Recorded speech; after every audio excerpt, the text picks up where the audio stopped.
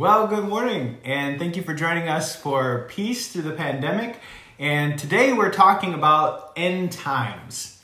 I want to start with this question If Jesus were returning tomorrow, what would you do today? I think it's always clarifying whenever I consider that. Hi, Cheryl. Um, if Jesus were returning tomorrow, would I want to be in my Bible and study more about him? If he were returning tomorrow, would I want to pray to him and, and talk? If he were returning tomorrow, hi Aaron, would I want to invite people to um, hear of the Lord or maybe share my faith? The answer to all of those for me, if Jesus were returning tomorrow, is yes, yes, and yes. I don't know if you've ever thought that Jesus was going to return in your own lifetime. For me, I thought this since I was a child. I'll never forget being in Beaver Dam, Wisconsin on 817 May Street. And there was a thunderstorm coming down, and I was just observing the thunderstorm in the garage. Um, you know, the smell of the rain and, and hearing the thunder, you know, it just incredible time. And I had this thought I never hear an audible voice from God, but I had this thought thanks for the birthday wishes, Cheryl um, that God was going to return in my lifetime. I was thinking that maybe um, just as this thunder is pretty big and loud, so maybe I'll be here not observing from a garage, but from wherever I am, seeing Jesus coming down on the clouds after the trumpet blast. And because I thought this from an early age, I've had times in my life where I thought for sure he was coming. Like I was a high school graduate in the year 2000. And if you lived through Y2K, maybe you too thought maybe this was the end. for a while I thought maybe, you know, God, if I serve you strong enough, long enough, you know, for 33 years, just as Jesus was done after 33, maybe that will be the end for me as well. Uh, there, there have been other times the uh, people who thought, you know, the end of the world would be at the Mayan calendar. I think that was 2012. And maybe right now, um, people are saying, you know, COVID 19, that this is the end. Well, I want to take you to some scriptures that speak about the end Thanks for all the birthday wishes, people. Good to see you. Uh, thank you, family. Um, I want to take you to Matthew chapter 24. And in Matthew chapter 24, uh, look how it starts. The disciples come to Jesus and they say, What will be the sign of your coming? And Jesus goes on and he explains a lot of things that are going on and have been going on for a while. That nation will rise against nation and kingdom against kingdom. So there have been wars and rumors of wars. There will be famines and earthquakes. I heard of an earthquake in LA yesterday, earthquake in Ohio. Um, all of these things are going to happen. Uh, it talks about the gospel being preached to the whole world. And you think of the World Wide Web and how the gospel is being shared all over right now because of uh, that instrument, that tool.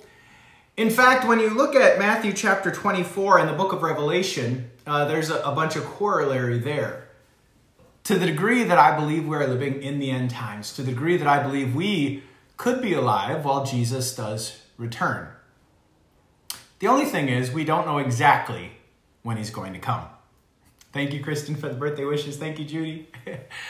um, in fact, there is a purpose for the reason we don't know.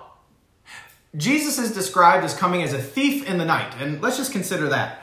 Um, if a robber were going to plan on stealing all your stuff, I consider Home Alone, um, they don't give you a courtesy call. They don't say, hey, uh, I was thinking of stopping by tomorrow, you know, at 10 p.m. Um, just want to let you know that's when I'm going to take your stuff. And the reason they don't do that is because if they would, you'd call the police.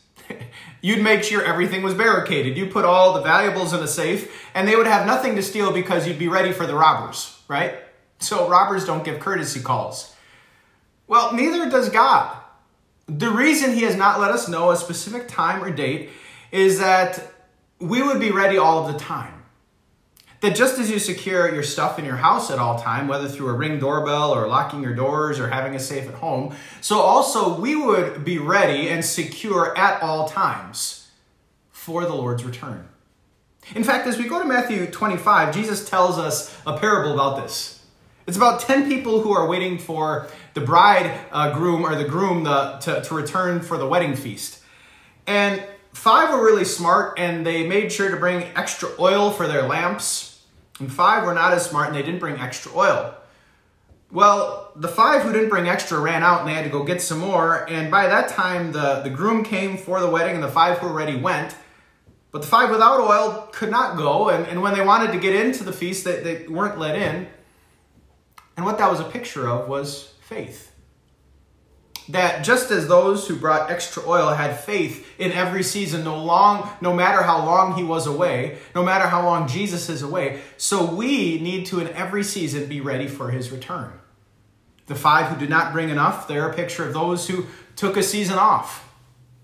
And I think of our lives, how easy this is to do to say, well, Jesus, you know, I'm in college right now, and, you know, following you is just not something that fits my schedule.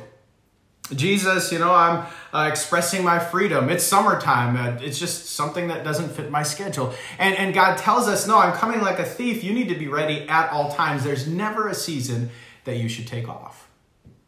Well, more end times teaching is uh, the talents. And the talents remind us that we are to um, use whatever God gave us for his glory.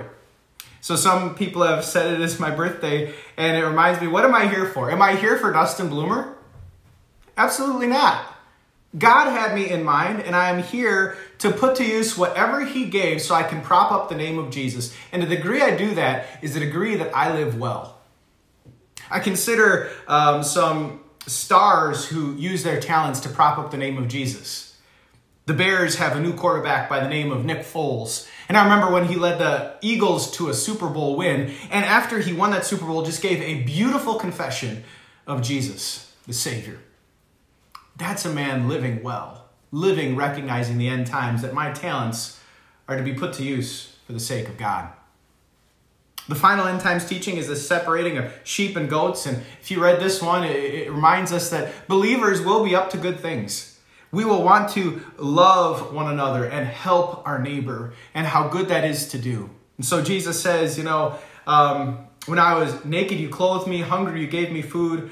Um, when I needed a place to stay, you let me in. But the believers wondered, you know, when did we do that?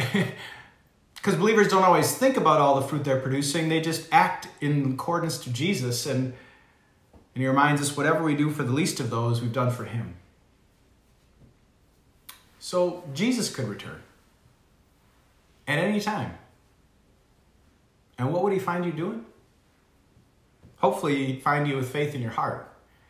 This is a season you draw near. Finding you using whatever he gave you to prop up the name of Jesus. Finding you loving your neighbor. You know, today I, I consider what Job said. Job, in the midst of his struggle, he wasn't in the midst of COVID 19. Job, rather, was in the midst of his own personal turmoil. And in the very middle of the book, for the emphasis, uh, he had these beautiful words.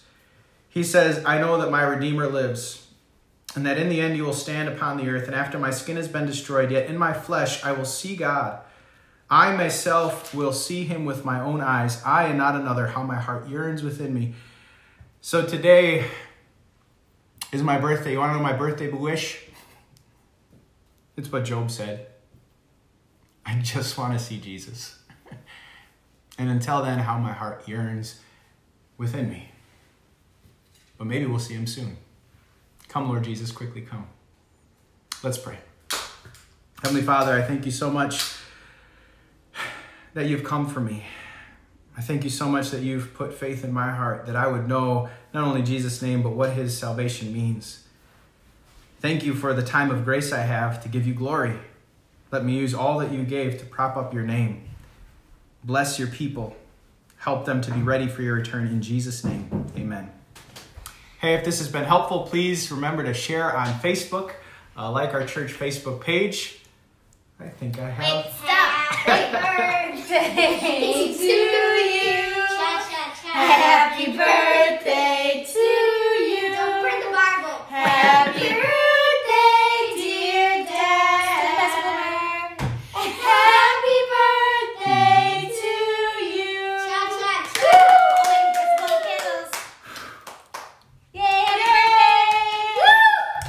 If you Can you haven't- guess my birthday wish?